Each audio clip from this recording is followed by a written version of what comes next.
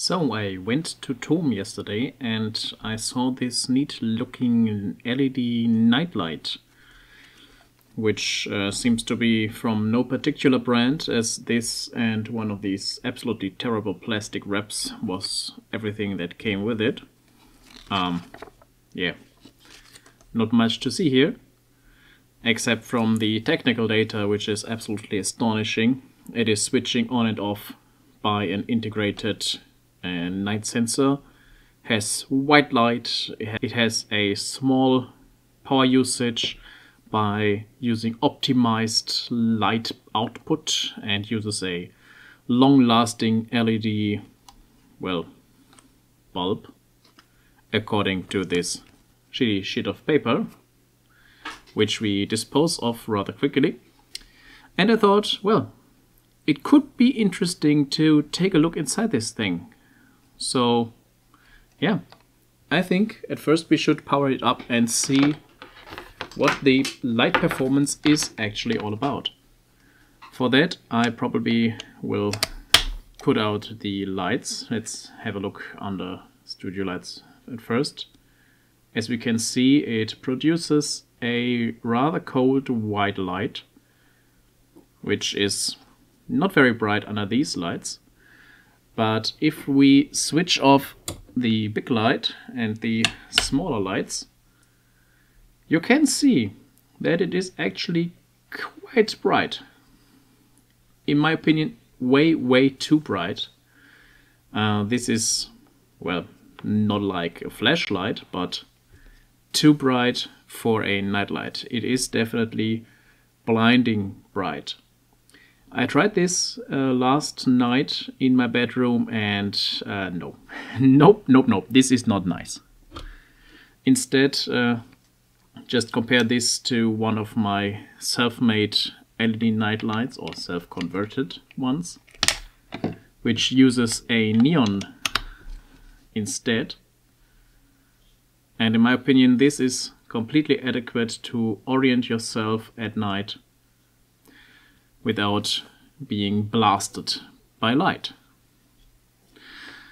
Anyway, let's switch on the lights again. Be careful with your eyes. And let's take a look inside of this. To look inside, we probably have to unscrew this stupid tamper-proof screw. I don't know if you can see let me just focus a bit more on that or try to focus. So you can see it's one of these slotted ones with the beveled edges to make you slip off with your screwdriver. But let's see if we can can't circumvent this by applying unnecessary force if we have to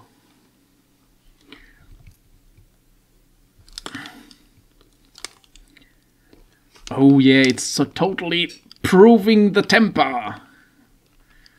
I feel like it is absolutely impossible to open this one or remove this screw at all. Seriously, why do they even bother with this stupid shit? So, after removing the unremovable screw, or almost unremovable, which still needs to be removed a bit more. So a bit more of excessive force is needed. We got that opened. Ooh. Let's get rid of that stupid thing. And have a look inside. At first glance, I see a typical, well, typical shitty sheep layout. And interestingly enough, let me zoom down, down a bit, you can see, if I make this focused, you can see that this resistor actually seems to be a botch resistor as it was soldered onto remaining leads of an existing one. Interesting. Also, aside from that, we have few more resistors, a small capacitor, a small transistor, bridge rectifier, and I would assume a light sensor, maybe a light depending diode or whatever that is. We will see later. And we can see here are some more holes that are not populated in a triangle pattern. It might have been the idea to use a, another transistor there. Who knows? But yeah, so far this is quite a nice PCB. Ah, we have a big capacitor on the bottom side, which is probably in series. Ah, this is the discharge resistor over that one. Yeah, I would say that we should reverse engineer this one. One moment, please. I have drawn out the schematic for this nightlight thing and I have to say I am very much not impressed at all. So let's take a look at it using a Sanken STR2112 as a kind of cover so that you experience my initial feelings when I started drawing that. We start strong with a usual capacitive dropper using that big yellow capacitor underneath. It has a discharge resistor which is surprisingly small with 430 kilo ohms, also a kind of strange value, but eh, we don't want to complain about that. But uh, I noticed using my thermal camera that this resistor is actually getting a bit warm. Not hot, but uh, visually warm compared to the other parts. Also, we have two resistors in series, R1, other. Speaking is hard today. R1 and R6. R6 seems to be a flame-proof fusible resistor kind of deal. It is a 100 ohm and the R1 is a 56 ohm as we can see here. The big capacitor on the other side is a 330 nanofarad capacitor. It is a X2 uh, security capacitor, so that is quite good.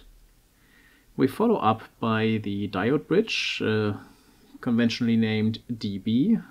Uh, it is a type DB107, just standard part, nothing fancy. And behind that we start with a small filter capacitor, which is a what is what brand is that? It is a Jackage, Jake Jake C. I don't know Jackage. Let's call it Jackage.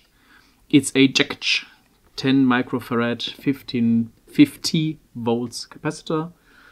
For whatever reason, it is uh, described as E1 and not C2, which would make sense as that one is called C1 uh, as you maybe can see here ish there. It's a C1 but but that here it is obviously it's not a capacitor it's a I, I don't know Uh, US capacitor it's a capacitor jacket capacitor so after that we have following the traces on the backside, we have three LEDs, all in series, followed by a 1.5 kilo ohms resistor R5, which is that slightly bigger one here. So far so good, nothing special.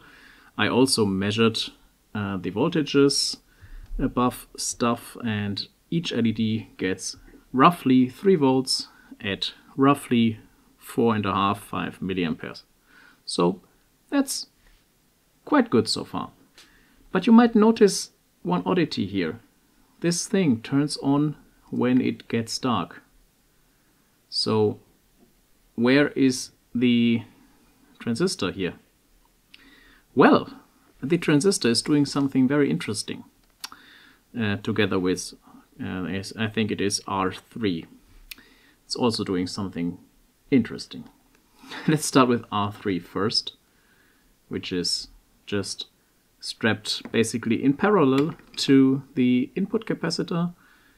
Probably the idea is to keep that one from exploding if one of the LEDs decides to, yeah, just die for whatever reason.